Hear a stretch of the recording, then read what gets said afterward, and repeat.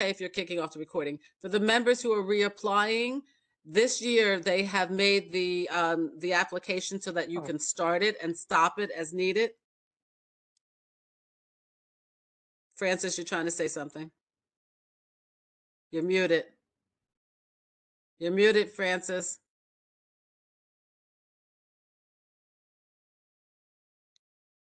Lucian, could you confirm? filling out the form, so that was in front of me, so I couldn't unmute, so I had to leave the form and yeah, let you know that, yes, that was a good experience. I like Yeah, that. a lot of people, oh, look at that sweet boy. A lot of people last year asked that they do that so that we could start the form and stop Right. it when we needed to and then go back Right. to it and the information Right. would still be there. So That that's was good. great. Okay, so we are recording now? Good evening, everyone. Welcome to um, March's Quality of Life Committee. I'm Pat Moore, the chair. Mary Alma James is joining us. She is co-chair, and we have Lucian Reynolds, who is our district manager. So the first topic on our agenda is we're going to welcome Officer Ford from the First Precinct. And thank you for coming. And we can start there. Officer Ford, hi. How are you? Good evening, everybody. I'm Officer Frank Ford from the First Precinct Community Affairs Office. Uh, just want to go through a couple stats to start off. I'll give you uh, some information, then we'll open up the conversations uh, to questions on the end. I'll start off with the boring stats. Um, these are for the 28 day period. Those are the stats we go by.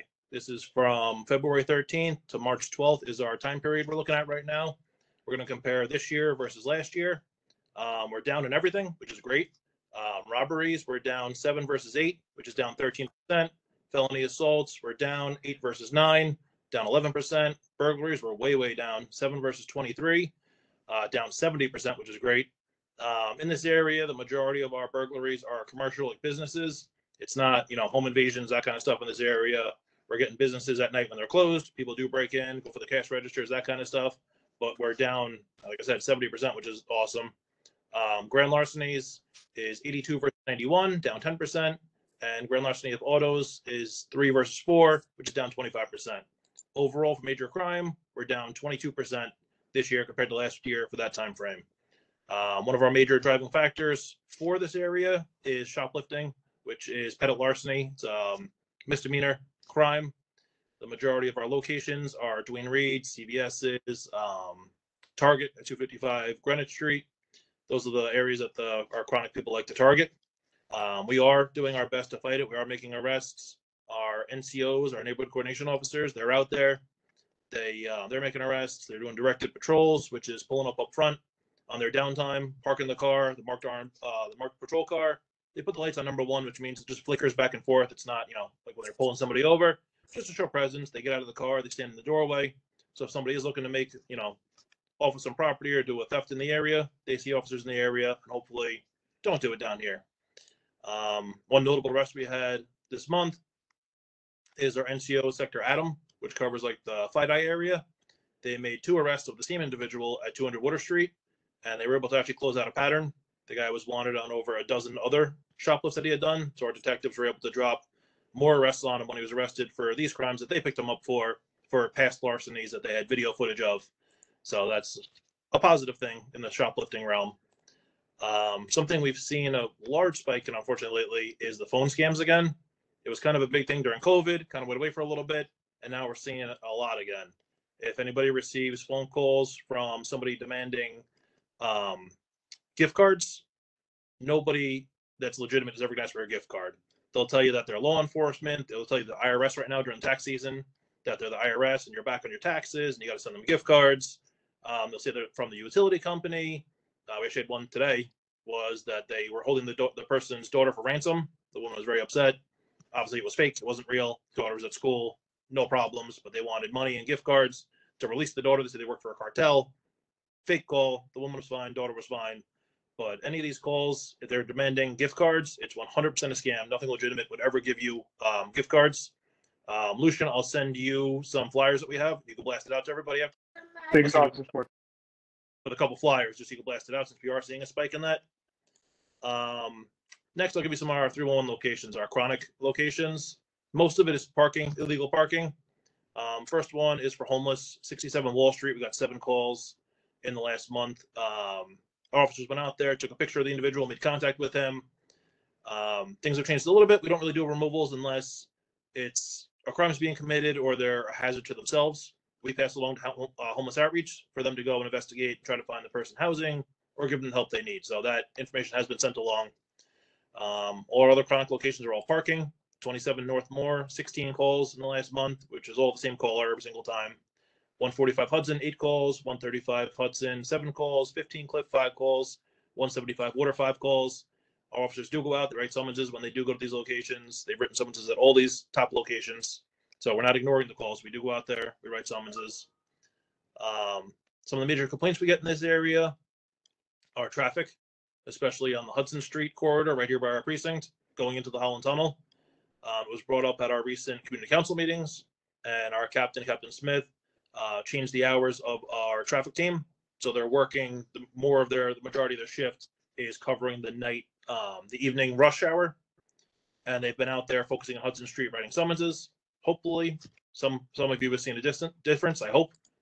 Um, with us targeting that area, kind of letting people know we are out there, we are writing summonses, you can't block the box. Um, you can't go down the street the wrong way. We've heard some crazy stories, so he did change their hours to make sure they're out there during those peak times. Um, something else we've heard lately is smoke shops. I know there's a ton of them everywhere. I think the last number I heard was 1,400 across the entire city. Um, they have licenses, the majority of them. They're allowed to be out there. Uh, the ones that are selling marijuana illegally, our officers do go out there, especially the NCOs. They write summonses. Um, same thing in the FiDi area. That NCO sector is great with that since there's a lot of smoke shops in that area. They go in, they write summonses, they do operations. The majority of it isn't handled by us, it's handled by the sheriff's department. When you see something about a confiscation or closing the store, that's the sheriff's office, not us. But we do go in, we write summonses to try to keep them in check. But the majority of them do have a license to be open, so we can't just go in and shut them down, even though it is, I know, quality of life issue and a, an eyesore in the area. Um, lastly, I'll give you the date for our next community council meeting, which is going to be on March 30th, 6 p.m. This month is going to be on Zoom. When it gets a little closer, our uh, digital content officer will be posting it on social media, and it'll also be on the NYPD website for the link. So you can log on if you want to log on, ask any questions, or just see what we have to say. Great, thank you. So I have a couple of questions, and then I'll Sure. open it up to the committee. So you know that 52 William and 99 Washington Street are going to be um, facilities for some of our immigrant families, our asylum-seeking families. Have you had any complaints? Because we've had a couple of complaints from the community. I don't think the residents have moved in yet. I'm not sure. Lucian, have they moved in yet? Do you know? They have, yes. Yeah, so we had complaints before they moved in. Have you had any complaints after and since they've moved in? Honestly, no, I don't worried about it. We've gotten only one 911 call for either location at 52 William, and it really had nothing to do with anything immigrant related. It was just a domestic call, husband and wife arguing. That was the only 911 call that we've had. Um, 52 William, we've had some complaints of people drinking on the street a little bit. Um, our same thing. Our NCOs are the ones that are, you know, our presence out there. They're in uniform. They've stepped up some directed patrols in the area to let people know, you know, even though you are staying here, doesn't mean you. It's not a free for all. Can't drink on the street. Uh, if you want to drink, go to a bar, bring it back to your hotel room. Can't do it on the street. And at 99 Washington, we've actually been getting complaints of um, a lot of people that are staying there are using like the delivery bikes, like that they're doing work like Uber Eats. Right. So they're locking delivery bikes to the scaffolding. So some of the business owners down there have complained because there's scaffolding. If you know that area, on basically every corner has scaffolding. So it's convenient for them. They can't bring these big heavy bikes to their room. They lock them to the scaffolding. Now all of a sudden you have 40, 50 bikes locked. It's a little bit of an eyesore for the businesses. So we are looking into that to see what we can do. Um, we will need the scaffold company to be the complainant if we are able to remove them, but we are going to reach out to our legal team and see what we can do about those bikes because I know it is an eyesore for the businesses. Well, I mean, and these people have to make work, uh, you know, do, they have work. So maybe we can get some sort of bike, one of those bike racks that they can lock their bikes to. And maybe the community board can be a help in that. Let's see. Let's try to work together and see what we can do. Now, that would be great. Can I, can I jump in really quick? Of course. 99 Washington, um, Officer Giordano had given me a heads up. I'm sorry, hold on. Can you go, voice, be quiet, please? Um, Officer Giordano, hold on. Officer Giordano had um, given me a heads up that there was an issue with the bike proliferation uh, at the HERRC site in CB4, that's uh, Hell's Kitchen, Clinton. And so I, before um, the families moved in, I'd asked DOT to start surveying uh, the area around the hotel for a bike corral to provide legitimate bike parking uh, in the area. So I can follow up with them and say that this is something that we need them to move to stage two on. Fantastic. Thank you. Like Yeah, you said, we- because we do want to see them fear their business, take away their means of doing business, Exactly. impeding on the businesses in the area that are trying to do business also. So we want to find a happy medium. Take their bikes. we Exactly. We want to find happy mediums. That'd be great. We have to work hand in glove. So uh, that was, I think, my only uh, question. Okay, so I'm opening it up to the committee. Go ahead, Diane, jump in. Um, two questions. Um, one, you mentioned traffic violations. Have they issued any summonses for bicycles um, on the sidewalk or violating traffic rules? We do. We actually just had another meeting today about this a couple hours ago. Um, as we always, we do write the summonses. They are difficult to write. If you've ever seen these e-bikes fly past you, they do 40 miles an hour. It is dangerous for our officers to chase after them. We do try to stop them. We do have our um, teams out there trying to stop them on foot. What we usually do is try to do a ticket blitz. So instead of an officer seeing an e-bike fly past him on the sidewalk and he chases after it and somebody gets hurt, what we do is a ticket blitz. We target an area where we know a lot of e-bikes are flying around that area, and we stage several officers on each corner of those blocks. So if they fly past one, on the next corner, the officer's gonna kind of hop out and stop them safely. So we're not so much grabbing them in the act on a daily basis, but we do do operations to get them safely without injuring anybody. We don't want somebody to try to run and then they hit, you know, God forbid, a stroller or something like that, an elderly person. We don't want to. We don't want to cause more of a problem by trying to stop them. But we do do ticketed blitzes. I don't know if it's helped, but, and my second question is, you mentioned uh, phone scams. Does that include online scams? we haven't seen too much of online. It's more the phone scams. They call, they say that your your nephew's been arrested in California. You got to send bail money in the form of a gift card, or like I said, this time of year it's taxes because it's tax season. It's you owe money on your taxes, and if you don't give us, you know, a thousand dollars in gift cards, we're gonna come to us and arrest you. And people go out buy the gift cards, they scratch off the back, and they give the person over the phone the the the serial number, and then the money's gone. There's no way to get it back at that point. There's no way to trace it from gift cards. Have you been going to our senior residents in the community and explaining, is there some sort of outreach to them to explain what these scams are? our crime prevention officer has done several of them. He goes to the senior centers, and majority of the Duane Reades, we we can't force them to hang up the signs, but we do give them our flyers that say "Beware of a scam." So if you go in to buy a gift card, hopefully there's a sign that we gave them hanging right there with the gift cards, saying if you were contacted, saying by law enforcement or the IRS, or you know, there's several other ones that they'll list on there. If any of these have contacted you, it's probably a scam. Do not buy a gift card. Those are supposed to be hanging by the gift cards. So you- if you do, if you are a victim and you walk in believing it, you see that sign, then you start to second guess it. And is there any written material on that that we, something short that we could put in our newsletter? Yep, yeah, I'm actually right now while I'm talking to you, I'm gonna email it to Lucian so he can blast it out to everybody. Great, thank you. And I know Karen wants to probably talk Yeah. about bikes. Yeah, Go for it. hi. Um, in addition to, um, the ticketing that you're hoping to do for the bikes, I was hoping that the police department could at least put out signs and tell people verbally when you have contact that riding a bike on the sidewalk is unlawful. We Um, actually do. Our traffic officer, if- I don't know if you're on social media, if you follow our precinct on social media, Officer Gutierrez, he has a uh, very charisma- charismatic personality. You'll see him on there. He goes out, he hands out informational flyers to bicyclists in, in addition to writing summonses. So we want to inform people that it is, you know, wrong to be riding the sidewalk, riding the wrong way down a bike path, all that kind of stuff. So we do inform and we do target blitzes. We do both. I, I was hoping that you would do that more generally because public pressure is also going to, if we can build it, is going to corral a little bit of this, you know, bike wildness that we're seeing at this point, where we can't walk out the doors of our, you know, of our own buildings without somebody zipping around the corner silently uh, on the sidewalk. I 100% agree with you. Do you have any areas that you've seen it more chronically? We Uh, we're I lo- we live by It's in an area. over.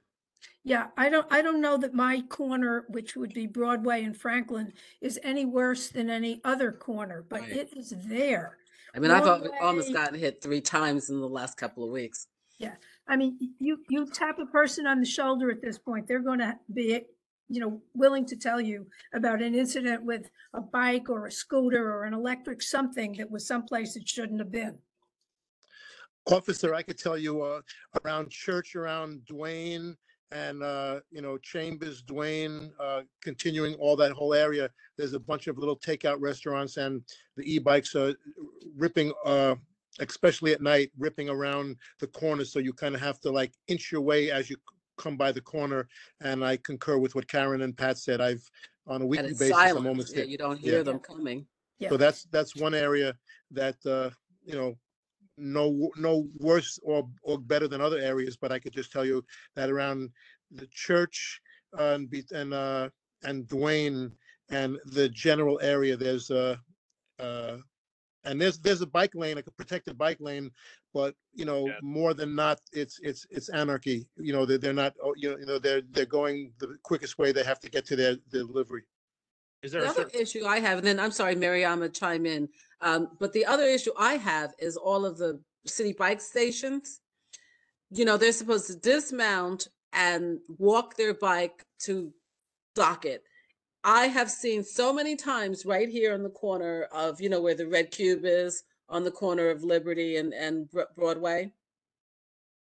Yeah. They ride, they ride on that sidewalk. It makes me crazy. They ride on the sidewalk to dock their bike, or once they take their bike, they ride it off of the, they ride on the sidewalk to get onto the street. They're supposed to walk it.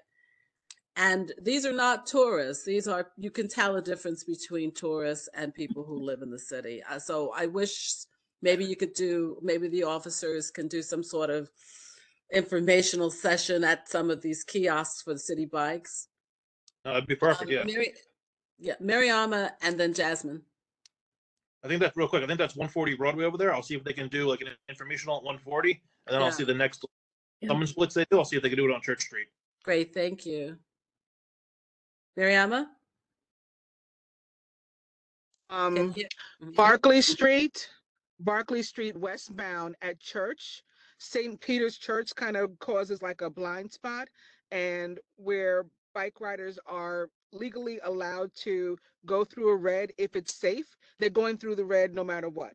They're just going through the red. And so if you're if you're a car coming down Barclay Street westbound, it very easily could um hit one of them. I I've nearly missed several of them, and I know I'm not alone. Also on Broadway, the left turn um, onto John Street, bikes have their own left turn uh, at that corner, but they s- go straight or turn whenever they feel like it.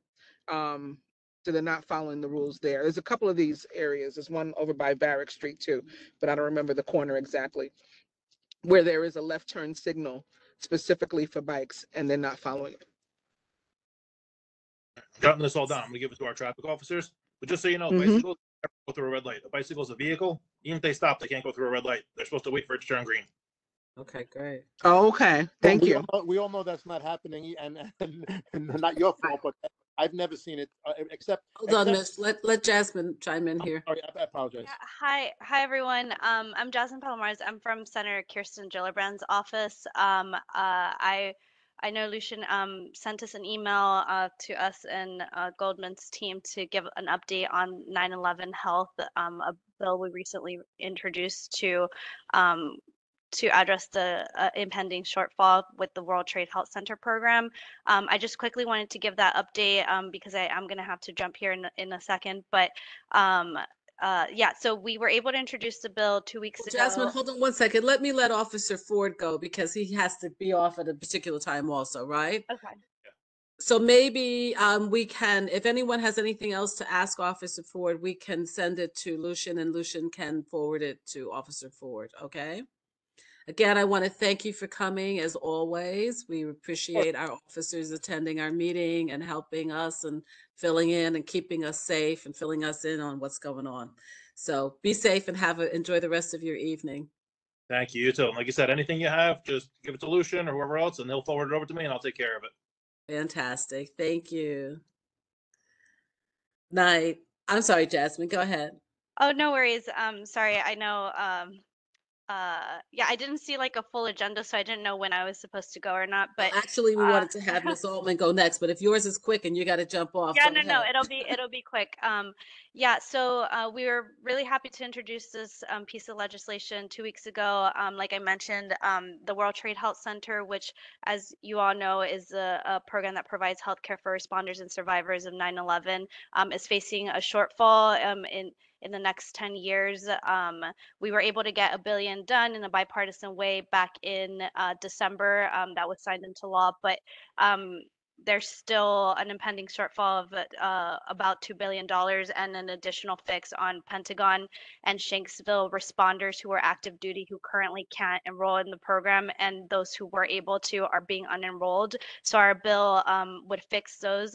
Uh, we introduced it with uh, on the House side on in a bipartisan way with um, Garbarino being our Republican lead, um, uh, Congressman Nadler, uh, and then, like I mentioned, Goldman um, is also a co-lead along with Esposito. So really strong bipartisan on um, uh, support on the House side. On the Senate side, um, we introduced it with uh, Schumer, Blumenthal, Menendez, and Booker. Um, unfortunately, we weren't able to get a Republican co-lead, although we're still working on it. We know Murkowski and Cotton had mentioned that they um, are willing to co-sponsor, co-sponsor, but not co-lead at the moment. Um, but uh, just uh, want to thank all the support that we had from NYPD, from the IAFF, the Firefighters Union, um, who came down uh, uh, to be supportive in the introduction two weeks ago. But I'm happy to answer any questions, and Lucian can send them my way um, on that. But uh, just wanted to give a brief update um, on that, and um, yeah, just let me know if you have any questions. And we're going to, this topic is not done. Mariama is going to lead us in this discussion after Ms. Altman. So if you have any quick questions for Jasmine, let's let her have them. If not, we will table this for a minute and then go ahead, Karen. Yeah. Does that mean that people who make claims uh, in this time frame will not be able to be paid? No, they still will. So the deficit is set to um, uh, take place in FY '27. So that's a, a few years from now. We just want to get ahead of the problem, not have ha- not have responders and survivors have to come down to DC and request additional funding for the program. So uh, not in, in the super near future, but it's more of a preemptive. We know this is coming. Thanks, that's great work. Yeah. Absolutely. Thank you. Anybody else? Okay. Right. Thank, you so much for letting me go. Yeah, no, thank you so much. Sorry that we didn't realize that you needed to get out on time. So anyway, enjoy the rest of your evening and I'm sure we will have you back again. Thank, Thank you. You all enjoy the Bye-bye. rest of your evening as well. Thank you. Bye bye. Bye-bye. So now back on agenda. So Ms. Altman is here. Hi, thank you for coming. Sorry for the delay. Would you introduce yourself and tell us what you're here to inform us about? Absolutely. Hi, everybody. Um, I'm Stephanie Mercado Altman. I am with New York City Smoke Free at Public Health Solutions. Um, actually, our office is located in CB1 on, on Worth Street between, oh boy, 40 Worth Street. But yeah, I'm not, um, we're in that big building there. So I'm very familiar with the nature of all the happenings around the area. So I'm basically here to introduce our program. Um, oh, thanks, Vishen. Um, to just talk about our services and find ways that potentially we could partner together uh, with our work. So um, you can go to the next slide, Vision. Perfect, thank you. All right, so um, just a little bit about Public Health Solutions. So we are the biggest non-for-profit uh, public health uh, organization in the city. Um, and our mission is really to support uh, vulnerable New York City families in achieving their optimal health and building pathways to reach their potential. Uh, you can go to the next slide. Um, so really, in our mission, we are New York City Smoke Free is a pro- is a program within Public Health Solutions, and we are really aimed at increasing tobacco-free norms throughout the city, uh, where people live, work, and play. So we, in, in this work, we do partner with community members, you know, those who live in the community and work in the community, uh, local legislators and youth. Um, so we have a youth engagement program, which I'll talk about in a few minutes, um, to really support the local efforts in ending the tobacco epidemic that is within our city. And I'll give a nod to, you know, the officer's point about the smoke shops. That's been a big problem for for some of our program participants. So um, it's all related, um, and this community work is all intertwined. So um, just to date and give some program successes, we've helped um, 54,000 families uh, within the time we've existed. Um, in terms of helping uh, 16, almost 16,000 plus units go smoke free uh, throughout the city. So I will talk about our smoke free housing work in just a moment. Um, and also I've engaged thousands of youth uh, tangentially in, in our reality check program. So um, our services are free to the community. We are funded by the New York State Bureau of Tobacco Control. So um, we believe that everything should be equitable and accessible for, for all New Yorkers for the work that we do.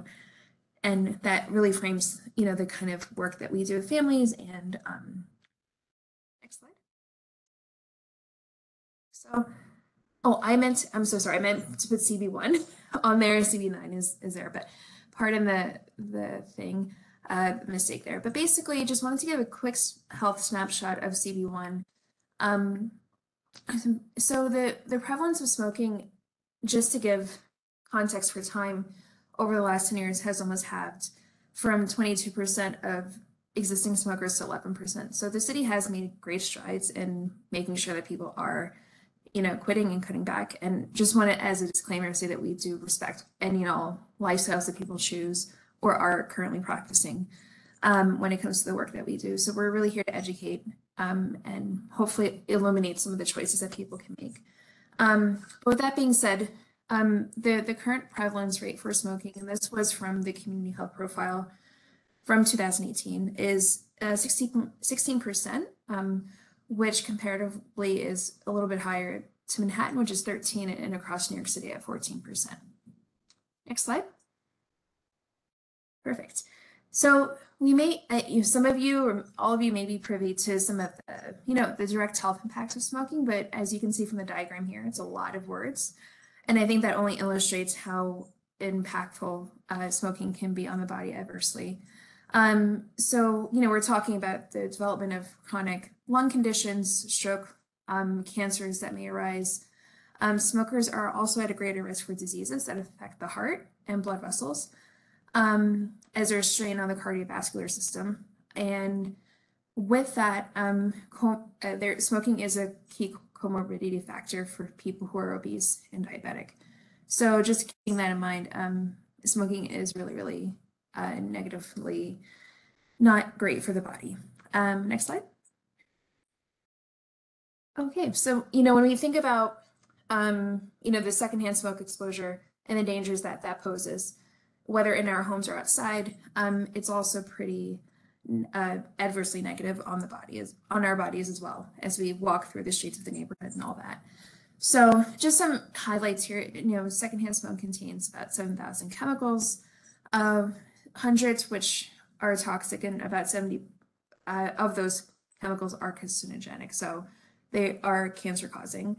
Um, and to say there also is no safe level of exposure when it comes to time for secondhand smoke.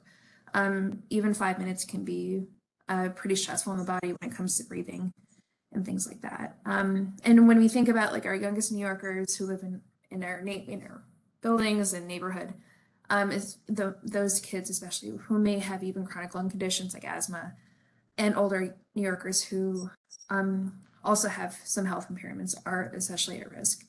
Um, and to even compound that, you know, we're, we're still unfortunately in the era of COVID 19 um, and smoking does is a pretty uh, does pose a high risk factor for those who um, may suffer from severe illness and impaired lung function. So with all that to say, next slide. So our community engagement, um, so the health uh, stats are really just to bring a picture as to the, the work that we do around smoke-free housing and tobacco-free outdoors policy making. Okay, next slide. Thank you.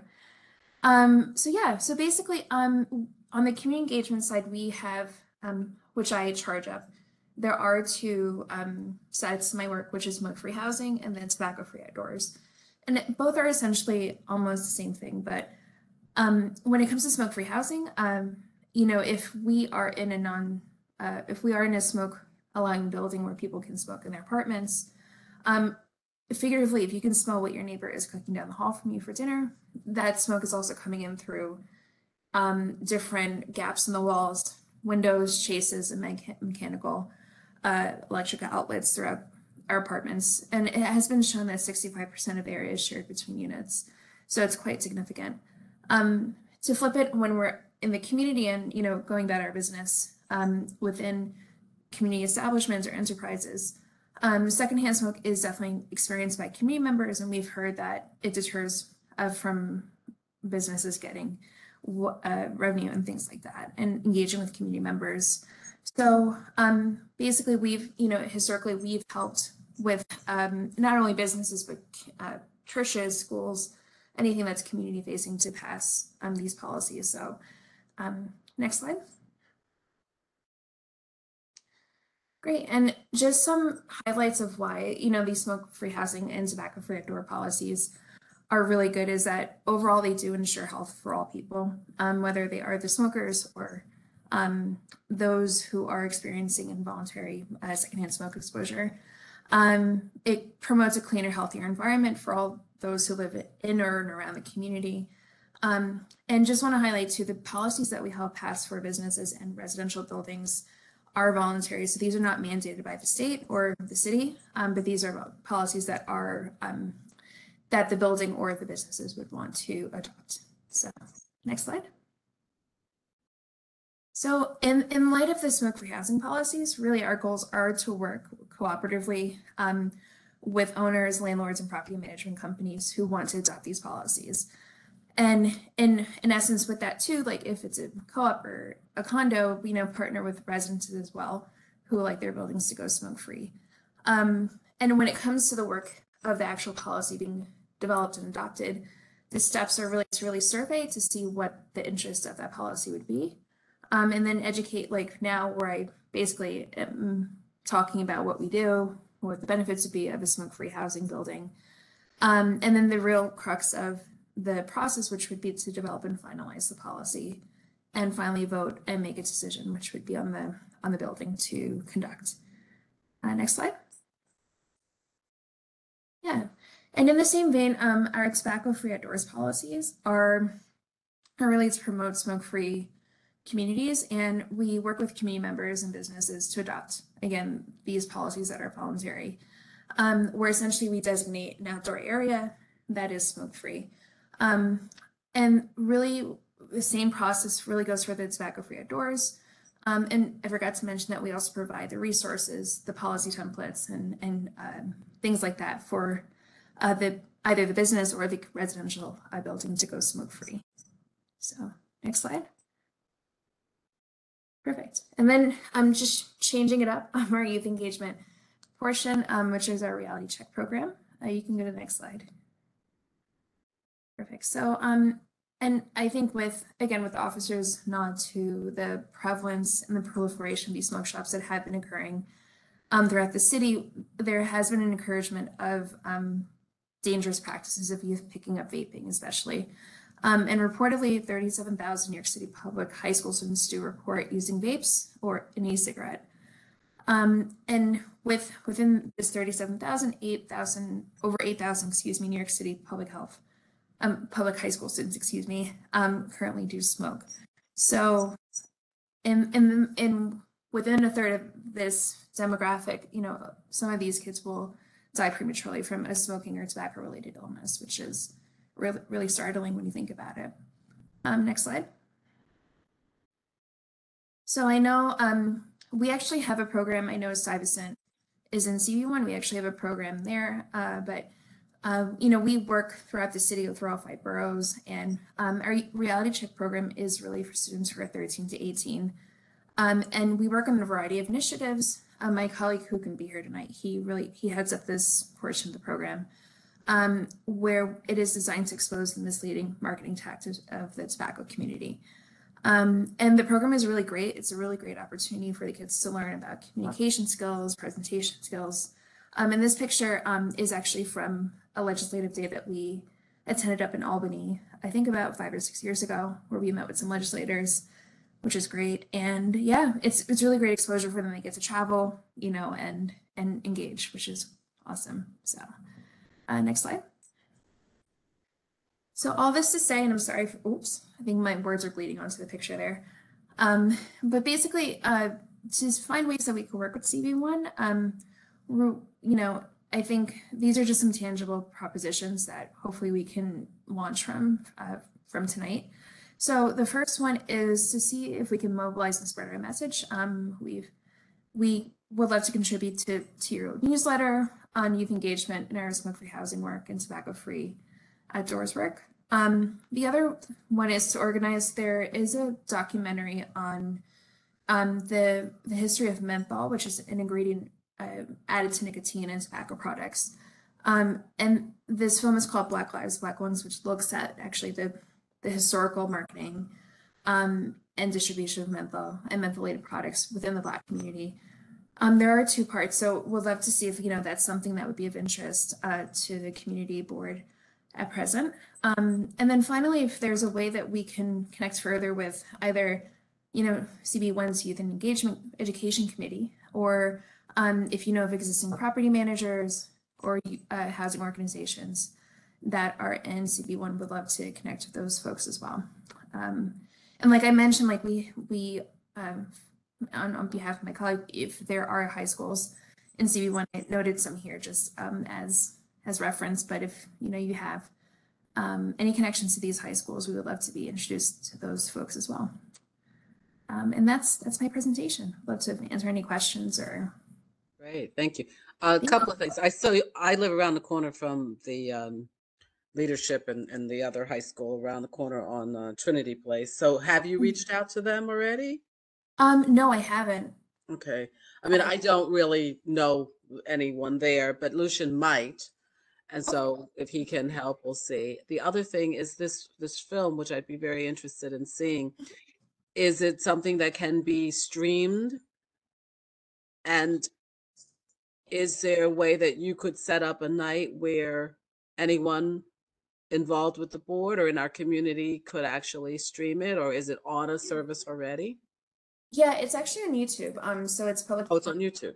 public domain already. I'm happy to send the link um to you, Pat, if you want.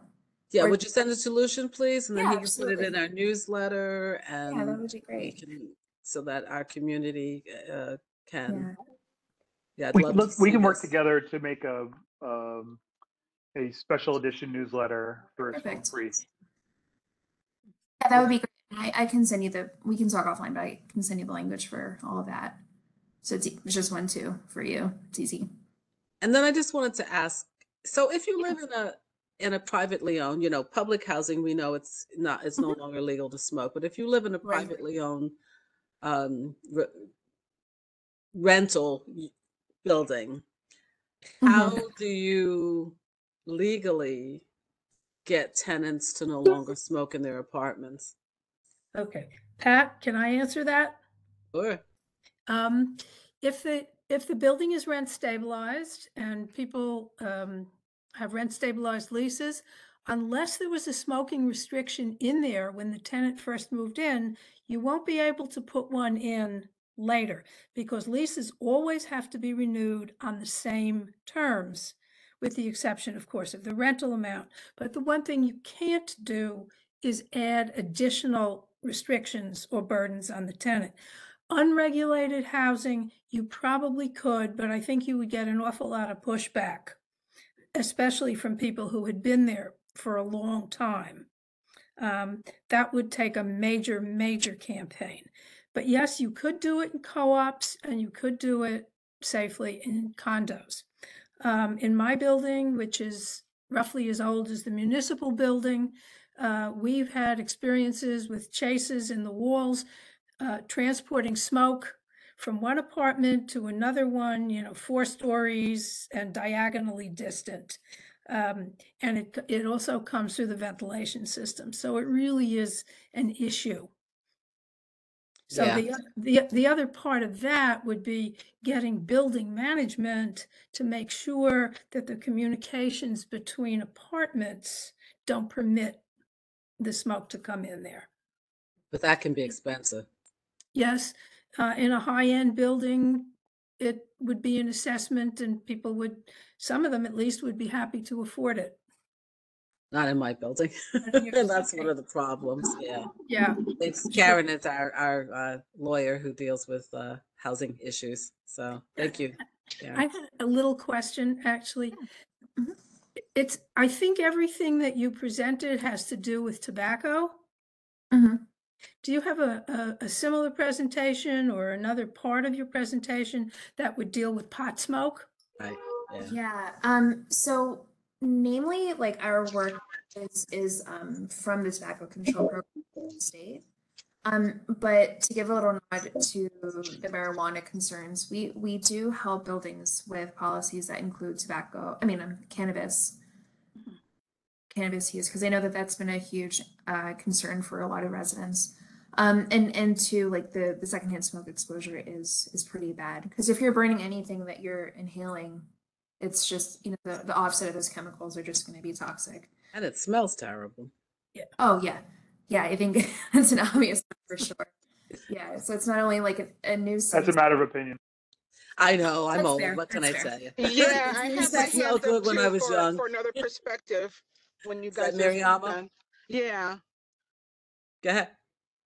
So, um, first of all, thank you for the um, thorough presentation. O- o- Overall, um, I was um, personally pleased pleased with what I was hearing, and think it could be helpful to the community. But I did have some concerns as it relates to cannabis use, um, particularly because CB one is such a um, is so disparate as it relates to race and um, class we one of the purposes of the uh, cannabis laws that are being um, drawn right now and implemented is to sort of destigmatize uh, marijuana and with the interchangeable terms like smoke free versus sometimes you specifically said tobacco free um, I, I think that there could be I had con- some some concern. I think that there could be um, it could make it difficult to change people's mindsets about marijuana use um, In terms of sale and, and use when we're just speaking in a way that sounds like we want to outlaw um, smoke altogether um, and at a time when the state is specifically looking toward uh, minorities to begin to um, allow them to not only use but to, to sell and to grow and to all these things. Um, so we it really is important that people's minds change about some of the um, some of the uses of, of, of marijuana um, and, and cannabis. So I just had some concerns where, where that intersection was because of the interchangeable or the, the seemingly interchangeable terms that you were using, uh, smoke-free versus tobacco-free specifically, Yeah. how it could be harmful.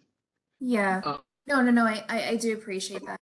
Um, you know, in all honesty, we, we, we do see, you know, I think racial inequity as um a hindrance to the, a lot of the work that we do. Um, so it's mhm. we are concerned, you know, you know, especially, and I think um, from a from a health equity standpoint, the the power of education is really to maybe mobilize communities to make the best decision for themselves. Um, so, yeah, no, and I do appreciate the the pointing out of interchangeable terms. So, I I've learned something. So thank you.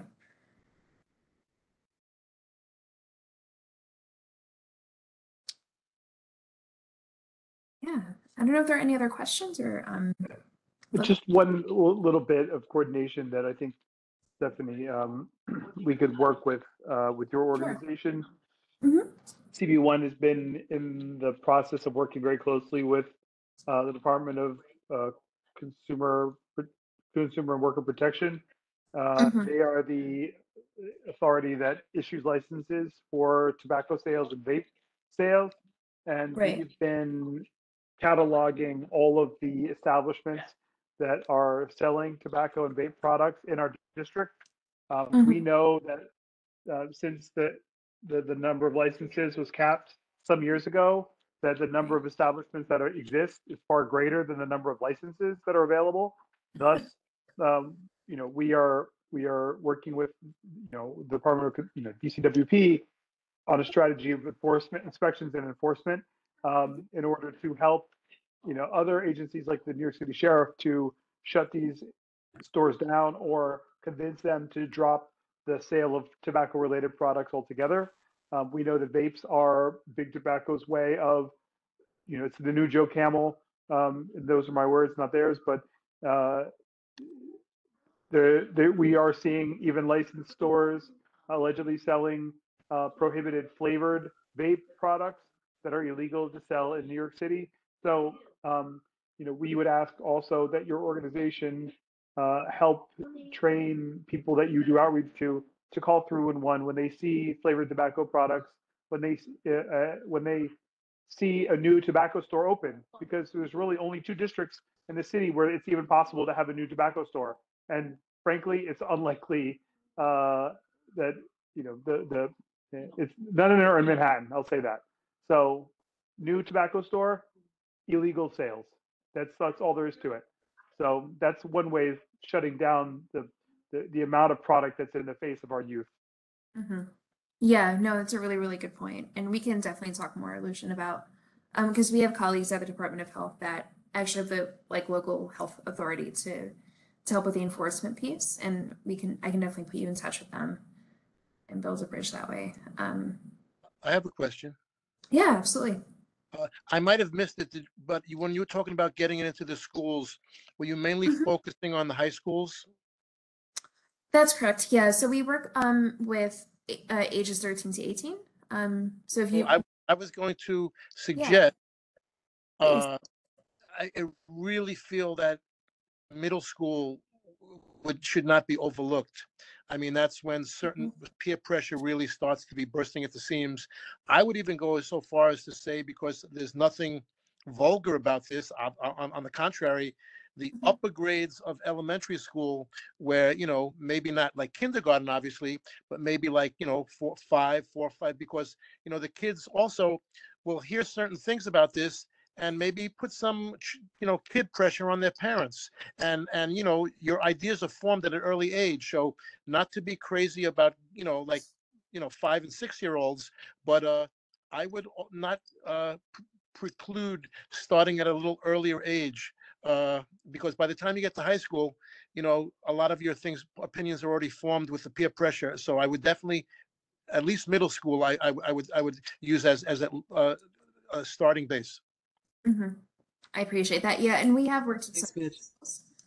Um and yeah, I think that's definitely work that we can pursue further. So thank you.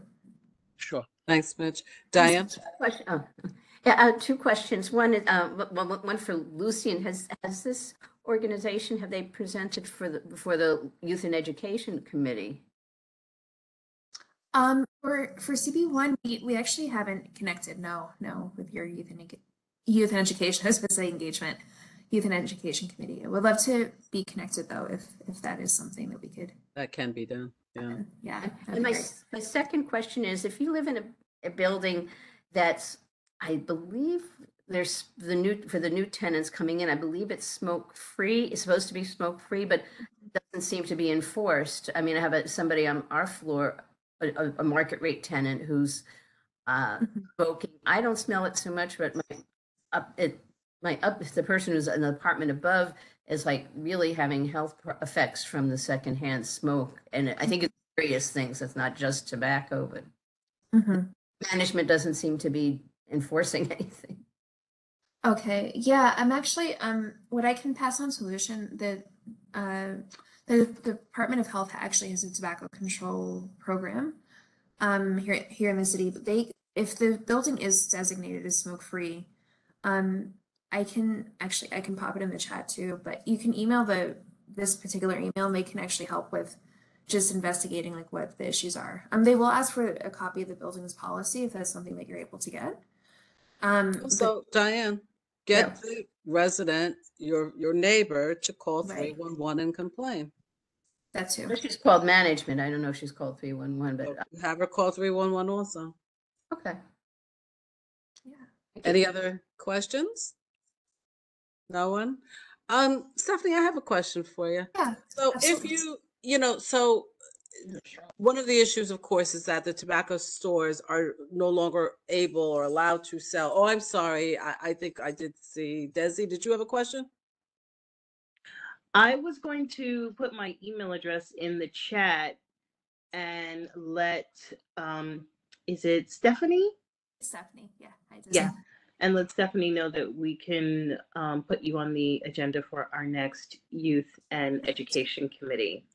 But Awesome. the chat seems to be, not- Desi, yes. Desi, just send me an email and I'll connect you all. Okay, great. Thank you, Lucian. So back to my question. So, you know, tobacco stores are no longer allowed to sell any type of vaping products that a- attract kids. So obviously they're still getting them from somewhere. Where are they getting these products from? Do you know? Is it, can they order it online? Are they getting it from Amazon? So i- is there something that we all could do to stop Amazon from selling these products or selling them? I, don't know what can be done, but is it something that your organization has thought about? Yeah, it's it's actually um I it, it's hard to say exactly where the youth are getting the you know the products from. Um because legally you do have to be 21 to acquire and you know buy the product um or the the cigarettes and or e-cigarettes rather. Um when it comes to regulation that's something that we haven't really explored just because of the funding dollars that come from the state that particularly can tread into territory that's quite touchy um, given that yeah given that. But um we we do have a partnership with the public health law center. Um i can i can send you their information and see if that's helpful. Um but as when it comes to regulation online that's a really really tough one. Um Yeah. the the other there are a couple of um bigger and national or nationwide um organizations one is called the truth initiative uh they're quite um prolific in like the legal areas when it comes to tobacco and, and youth. Um, I'm trying to think of another one. And flavors, I think Flavors Hooks Kids is another youth. Um, What's it called? Flavors Hooks Kids. Flavor Smokes Kids. Sorry, Flavors Hooks Kids. It's kind of a the- like they a hook in. Um, that's Well, you'll put it, in the- you'll send it to yes, Lucy. I can send it to Lucian. Yeah, hook. Okay, great. Thank you. Flavors Hooks Kids, okay. Yeah, it's a it's a funny name. It kind of doesn't Right. tongue. Because maybe, I, I- you know, I don't know, maybe we need to start a campaign about getting, Yeah. because these kids are getting it from somewhere. If They Yeah. can't get it from the stores and they're getting these products from someplace, you know? Yeah. But I mean, there are there are establishments that are. I mean, you can. It's only illegal. I mean, not it's only illegal, but your city particularly makes the flavors illegal. But I don't think they're nationally illegal. Ah, So uh, somebody could drive to New Jersey and to a wholesaler and buy, you know, a crate of Yeah. the flavors and then drive back. But we it's have like to they do report, firecrackers. Yeah. right? We just have to report that we're seeing flavors being sold, and then enforcement go out and catch them, and you know, yada, yada, you know, da, da, da. Exactly. Um, Desi, do you still have your hand up or that was your, that's from be- the last question? Sorry, I'll put it down. Okay, thanks. Anyone else have anything else they'd like to say, contribute, ask? If not, Stephanie, thank you so much. This has Thank really been you. very interesting. If there's Thank you, Pat. anything else that we can do to help, if you need us to write any kind of um uh, uh, rezos on anything, please come back and let us know. Absolutely. Thank you for having me. Look forward to Thank working you with for you. coming and spending your evening. Thanks. All right. Enjoy your evening. Take care. Take care. Be well. Thanks you as well. All right. Bye. Bye. Bye. So Mariama, are you someplace that you can? I am. Okay, so Mariama's gonna tackle the next topic, which is uh, something she's been very, very instrumental in bringing about. Thank you, Pat. So I'm back with, uh, with 9/11 healthcare funding, uh, once again. So I will remind you guys that back in November, when we learned that the $4 billion needed by the health program, uh, so as not to have to turn anyone away beginning in the year 2024, um, when that failed to be included in the omnibus bill, we um, convened at our quality of life committee meeting and passed a resolution supporting Senator Gillibrand's proposal of $1 billion um, at that time. And somebody from her, uh, gentleman named uh, Gilbert uh, Ruiz, I believe is his last name, uh, joined us for our, for our full board meeting that month for a presentation in that regard. We supported as a committee and as a board um, that $1 billion being used, um, was pulled from a different health fund, a, a US health fund, and um, rolled over toward the 9/11 health um, care program, the World Trade Center health care program. That following that, um, there was a press conference by Gillibrand's office that I and some other supporters, proponents of the bill, mostly responders, um, were invited to participate in at her office in Midtown. Uh, just thanking her and Senator Schumer for their work in getting that $1 billion passed. But many survivors and responders were still very upset that uh, our program remained in limbo and that there was a potential that you know, friends, neighbors, maybe, um, family members who have not yet uh, presented. Um, we hope, obviously, we hope that people, some people never present with any health issues, but we could have some that have not yet presented but will. And the thought was that that when they did present with some sort of healthcare issue, um, God forbid, uh, one of the cancers that's covered, that they would be turned away from the program um, beyond uh, 2027, which that $1 billion covers. So uh, back to the, to the drawing board, uh, Senator Gillibrand went this year. And um, I was actually invited to participate in that as well. That was in DC. I believe the 28th of, of February. Um, I could be wrong about the date. Actually, it was the same day as our, now that I think about it, it was the same day as our uh, full board meeting in February. Um, and at that bill announcement, the senator proposed not only uh, healthcare funding that uh, was expected to to last through 2090 as promised, but that also um, better incorporated and in some cases for the first time allowed for members of um, victims of the disaster in other locations um, other than at the World Trade Center, like in Pennsylvania and in DC, um, would also be better covered.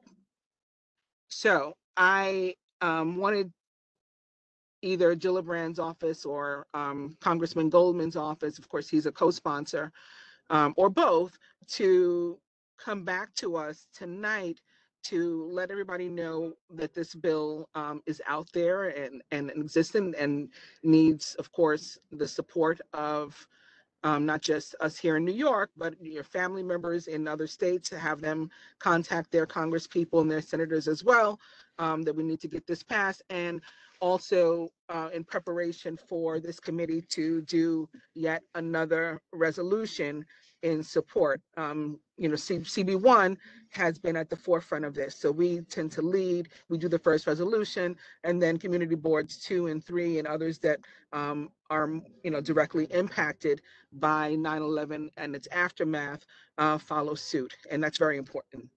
So that's why I'm here. That uh, we've also um, sent around, Lucian has sent around uh, the video of the bill announcement. It is an hour long. Um, just want to see me, I'm at the end. I think nine minutes um, left to go.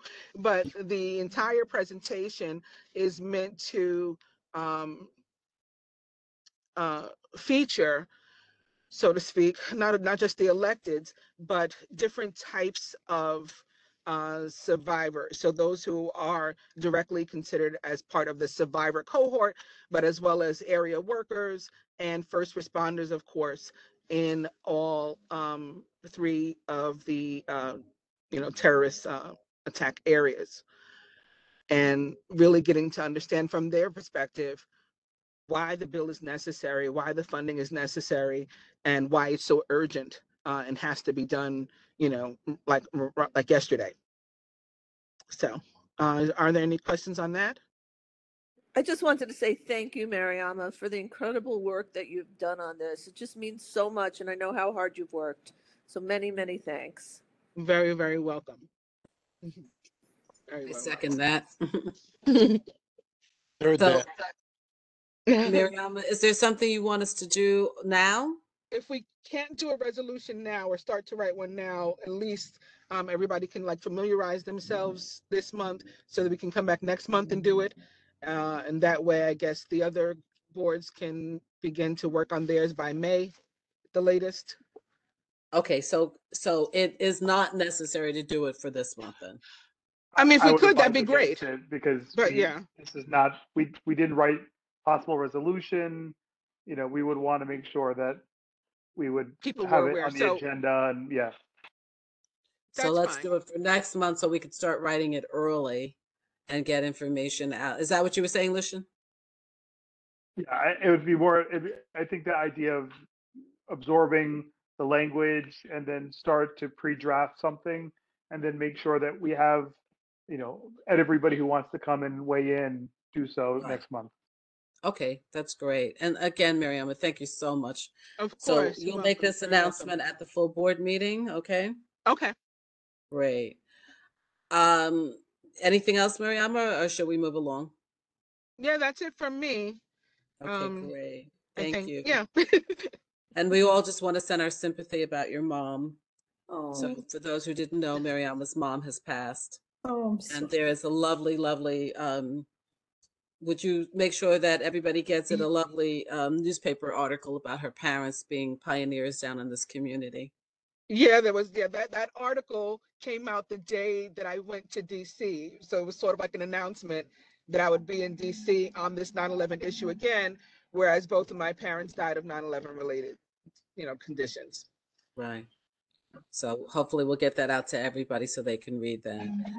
Thanks, Mariama. Thank you. Um, Rosa, I see you're here. We missed you last month when they started to talk about, I see Karen wants to say something too. Yeah, I, no, I'm just, I'm, it's time for me to pack up and go back to the city, so, Yeah, it doesn't look like you're uh, uh, uh, in the city. It doesn't look No. like you're in Tribeca. no, I'm in, I'm in Pennsylvania. So, Have a safe trip, please. thank you. See you We'll all see you- soon. And See you soon. Okay, thanks for coming. Bye. My pleasure. We'll keep on that bike issue. Rosa, I see you're here. Would you like to tell us anything about the park? Oops, Rosa? Hi, hi. Sorry, hold on one second as I Mhm. figure out how to start my video after three years on WebEx. Um, and then make sure I don't look horrible. Hi, how are you? Don't look horrible. You never look horrible. Stop it. No, you are so kind. Um, so I I am not going to say anything about the park at the moment. I'm gonna go on hold for just You had a lot of good news. Um, so uh, well, I no no I can't share that yet because it's not Okay, public and until I, Okay. everything is confirmed, then I, I can't share it yet. But yes, we have lots of good news that we are hoping to be able to share shortly with everybody. So um, please be a little patient, but keep your ears open. And um, yes, sorry, I'm Fantastic. Which as everybody knows, well, Rosa, just to give a little background about what you've been doing, the work you've been doing, because some, maybe some people don't know about the park. Oh, okay. So, um, well, so now we're called Gotham Park because Brooklyn Bridge Manhattan was too confusing with the Brooklyn side. And so we are working to open nine acres of land um, underneath the Brooklyn Bridge and uh, in the Manhattan side. uh, as you can imagine by the name. And we're calling it Gotham Park. Um, and uh, we got greenlit by the mayor in um, the January 26th State of the City address, uh, which is awesome. And we were um, also mentioned in the uh, New New York panel report, which was announced by both the mayor and the governor. And um, since there has been the appointment of our new public realm czar, um, Ya-Ting Liu, uh, in her press release, um, she said that this was one of her top uh, three initiatives, I believe. So we are feeling real momentum. And I have to say, it's only because everybody in our community has advocated so strongly for this to happen that we have been able to get any traction at all. Because, like, literally a year and a half ago, I didn't know a single politician and I didn't even know vaguely how community boards work. And and I see Mimi smiling so hard, and so I have to mention that we are getting public bathrooms. um, which I'm like crazy excited about because you know everybody needs to pee. Um, and uh, as I keep saying, if you started drinking a coffee on the Brooklyn side, by the time you get to the Manhattan side or the Brooklyn Bridge, you gotta go. And uh, we prefer you not use the stair to go, okay? Because it already smells like a urinal, and it shouldn't. Um, so so we are working on amazing things, and um, we can't wait till we have a restroom that you can utilize and that we have a nice stairway that doesn't smell like a restroom and uh, what and when you have um, park space that is open and accessible for us to enjoy and get together as a community. So we're working super super hard on all of that. And as soon as i get confirmation i will let everybody know. Um, but I just want to say, you know, truly that uh like that this project literally stands on the shoulders of giants and CB1 and all of you have been such enormous supporting giants for this and for everything that you all do whether it's speaking to your friends and family speaking to the elected officials all of that it means something and um and so just wanted to say much love to the supportive uh, group that is really, really pushing this forward. So love, love, love. Well, we all want to say thank you because you were the driver behind this, like Mariama has been the driver behind our health and, and World Trade Center number five and Jill and so many things that uh, Jill Goodkind and, and so many things, Francis with some of our health initi- initiatives. So there are such great people on not just this committee, but on the entire community board and who live in our community. So thank you, thank you, thank you to you all. And I see that smile from ear to ear. And I, I love it whenever I see that smile for you, Rosa. So on you. So thank you. And yes, as soon as you can, please, please, please let us know. All right. Absolutely. Um, Miss Francis, do you have anything that you wanted to share with us? Oops, you're on mute. Nope, Okay. nope. I all see, I quiet. see that Miss Lau is here. Is it Lay or Lau? Yes, hi, good evening. Um, I, Hi. I, I just learned so much from each one of you and, and I'm so happy to hear about the park and the nine eleven Health Fund is gonna be continue. Uh, because I know many, many people are, you know, starting, um, like we say, you know, it's been twenty years, right? We don't know what's gonna happen, you know, in another five or, or ten years. So we, we really need to fight, you know, for those funding to help our community and for all those family that Please let everybody on the committee know that you work with the hospital. Tell them what you do. Oh, yes. So, uh, sorry for those who not uh, maybe first time meeting me. Um, I'm the community uh, affair manager for the New York Presbyterian Lower Manhattan Hospital. So we are the only hospital for this community, and we are behind you all. You know, so if there's anything that we can do, please let us know.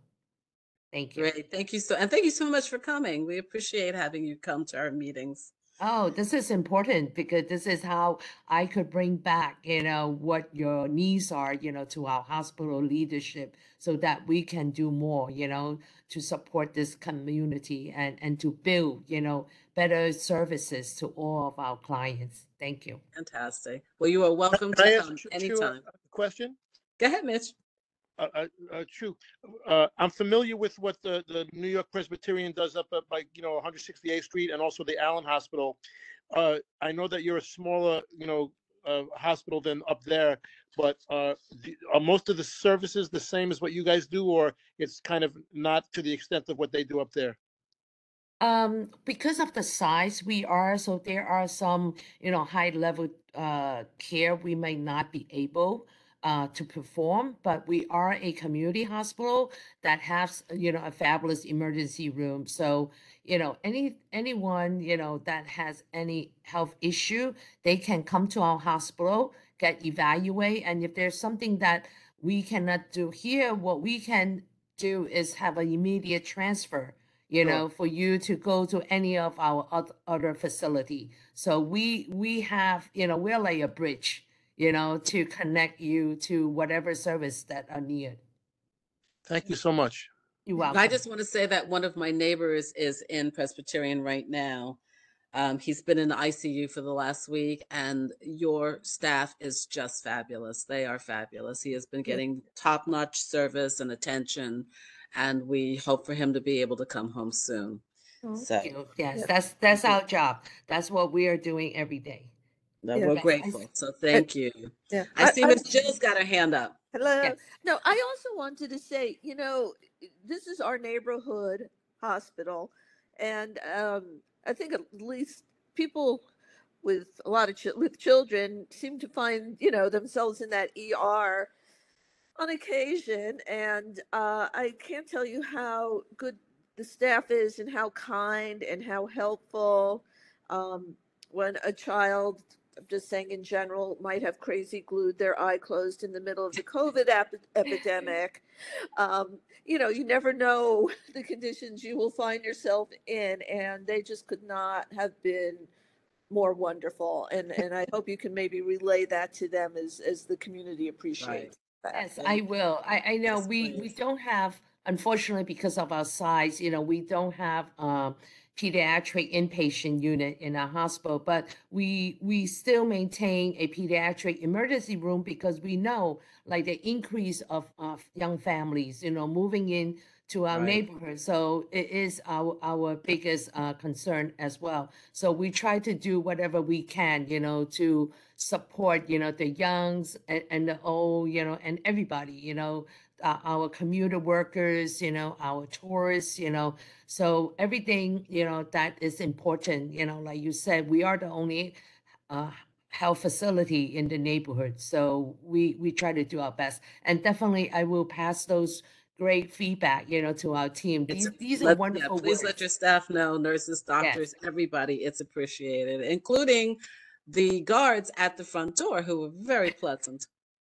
Yes, they very do. They true. do. Yes, yes. Yeah. Thank you. Thank you. So would anybody else like to contribute anything or say anything or ask anything? Miss Diane? Hi, Chu. Um, I, I just wondered, last time I had asked if you were able to um, contact any of the senior centers, like I know our- our complex has, has one, because you me- had mentioned some health workshops that, you know, I think seniors might be interested in. I don't know if you were Yes. able to.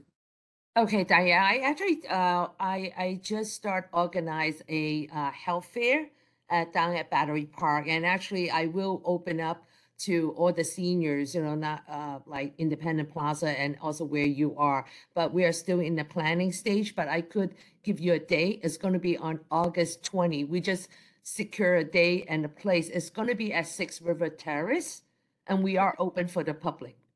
Also, don't forget to please mm. send that information to Lucian so he can put it in our newsletter. Okay, no problem. Great, thank you. Yes. Anybody else? Going once? Going twice? Okay, don't forget, this committee runs because you all contribute topics that you want to discuss or have work done on and for and with.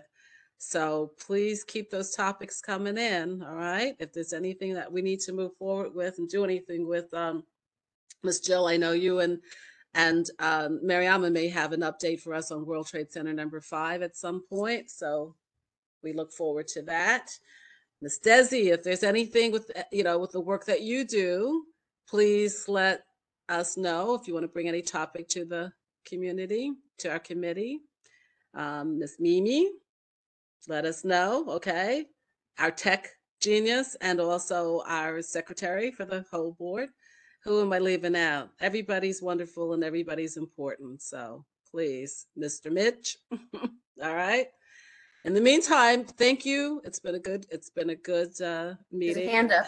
Let's all give a round of applause to Lucian, who does a fabulous job of getting everybody here and keeping us. All going. right, all right, Thank all you so much. all And we right. got to Thank you, see your Pat. beautiful son tonight, one of your beautiful sons tonight. So uh, everybody go and enjoy the rest of the evening. Francis, did you have your hand up? Nope, you're still on, you're still on mute. You're on mute. know how to read. um, I was just wondering uh, if how people feel about the new uh, mask uh, status in stores now. Yeah, I don't feel good about it. uh, that you know uh, that our mayor says that we have to go mask maskless in the stores because uh, of all. The, actually, should have brought that up with the the precinct uh, in terms of because they're they're finding that there's and I've I've seen it myself. I'm sure. I don't think you have to keep your seen it. mask off. I think they said when you enter for the security Yes, that's what. I, I recall hearing, even though Okay, there's could no way to so enforce that. enlighten me, please. What Huh? what is it? What is? I don't know. What I I just saw the I Lucian, do think you what know about Diane this said is new- correct. That, What's the that new ruling? they, no, they, it's not, a it's not a. I a- think it's just an idea paper. that he floated in public. I don't think there's any rulemaking that's happened around that yet. I think it was just He- an uh, idea uh, he, Mayor he was Adams just socializing. suggested, as you walk in, to lower your mask so that the camera can get a shot of you, and then you can put it back on. Obviously, if anybody's gonna do something wrong, they're not gonna lower their mask, and it's unenforceable. But that's, that's what he suggested. Diane was correct in what, what she uh, heard. Okay. Don't listen to it. Wear your masks in the store. There are a thousand people dying a day in the United States from COVID. Right. Hey, people may try to tell you it's over, but it isn't over. Of course. Okay? I mean, they didn't wave a magic wand and end it. huh? Exactly. So wear those Yeah. masks whenever you can, you know? All Okay. right. So we're All gonna right, stop everybody the be safe. meeting. And again, everybody have a great evening. Go and enjoy yourselves and be safe. I'll see you at the next meeting. Thank you to our Bye, wonderful, our Pat. wonderful Thank you, leader. Pat. Thank you. Oh, please. That's awesome. Solution Thank that does all the work. Oh, no. Thank you, Pat. Pat, Good thank you for being night. amazing.